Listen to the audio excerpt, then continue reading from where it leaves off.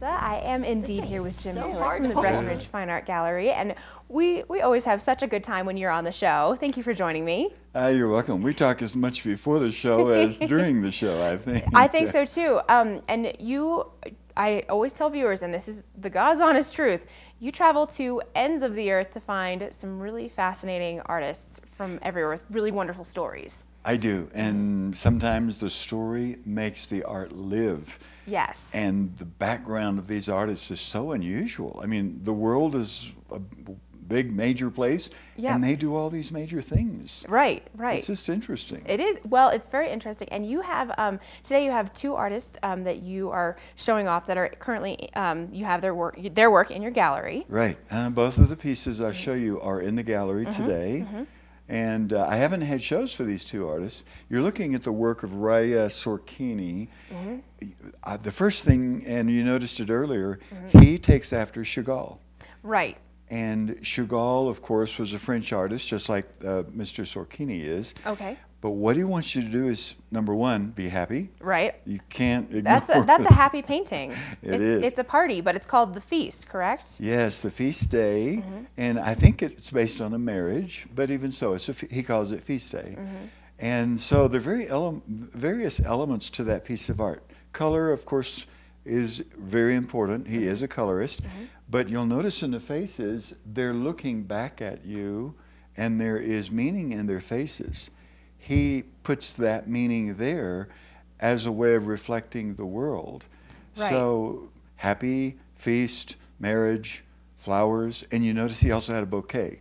The, Yes. The couple had a bouquet. Mm-hmm, mm-hmm. Marc Chagall actually put a bouquet in most each of his artworks because when he was the director of art for part of the Soviet Union, mm-hmm. his wife couldn't, his future wife tried to meet him. He was too shy to talk, so she brought up a bouquet of flowers, handed it to him, and forced him to talk to her.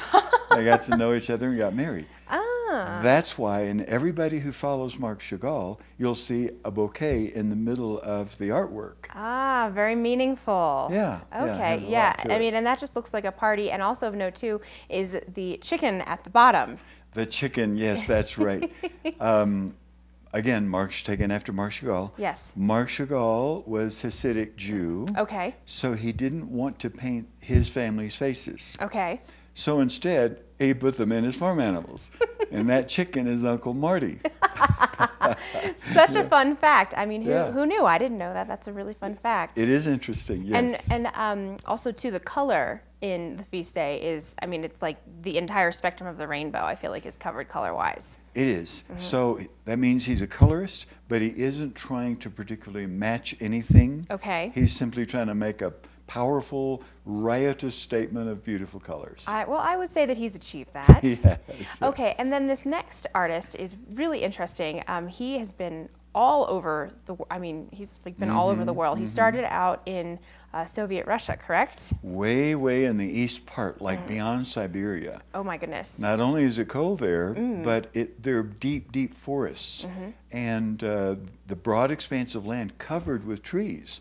Mm. But now you'll notice in his artwork, which we see now, uh, he puts the trees kind of sparsely out there because he moved to Israel Mm-hmm. when he was. Uh, after he had his first child, Mm-hmm. he and his wife moved to Israel, and he began painting the is- Israel, the landscape of Israel Okay. mhm. which means you've got fields, then trees, then fields, Right. then a house, and so forth. Not not not quite so. Um, you know, thick, dense Russian forest. It kind of opened them up a little bit. Right. Mm-hmm. And in that dense forest, there are tigers, you know, they're known for that.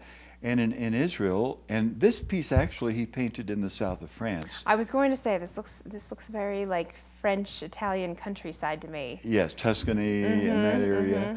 But what he wants to give you is, as you noticed earlier, depth. Right. Mm-hmm. Got good depth, good color, but it is based on the theory of primitivism, Mm-hmm. and he doesn't want to put too much in there to to get you occupied. He wants you to feel the beauty and the setting, but not too occupied with the artwork. Just enjoy it. And primitive kind of means it's not complicated. It's real life, Mm-hmm. and it's just happy, I like that. a nice expansive land. I was going to say it is very expansive. I feel like you look at that and it just keeps going. Like it's mm-hmm. like you look like mm-hmm. you're looking almost at a photograph mm-hmm. of like, you know, when you look at the Rocky Mountains and they just keep going, you're like, is this real? Right, right. And the trees that you saw in that piece of art, you also have to realize they're kind of like lollipops. You- You, get that feeling. and totally. even the color, uh, the house in the distance, uh, it's all very Tuscany oriented, Mm-hmm. but it's, it's also, he get, has the colors of, of Israel. And Ah. those basic earth colors then come into strong reds and basic greens, which gives him a, again, uh, you call it a jeweled look because when you put those opposite colors together, complementary colors Right. together, they make it stand out better.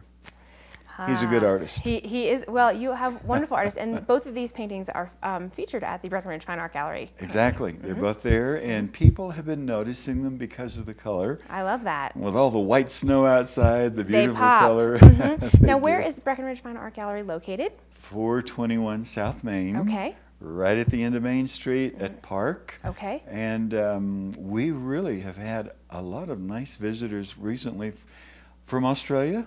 Wonderful. Yesterday and the day before that. Their summertime, our wintertime. I Why like not? it. Yeah, sure. yeah. Lots Well- of visitors. Well, and what what are your hours, just so folks are aware? Every morning at 10 we open. Mm-hmm. We close at 8 o'clock at night, All right. seven days a week. Excellent. Well, folks, be sure to stop by and say hello to Jim over at the Breckenridge Fine Art Gallery and treat yourselves to a nice day over there. We have more Summit Sunrise to come, including a watch and win, so don't go anywhere.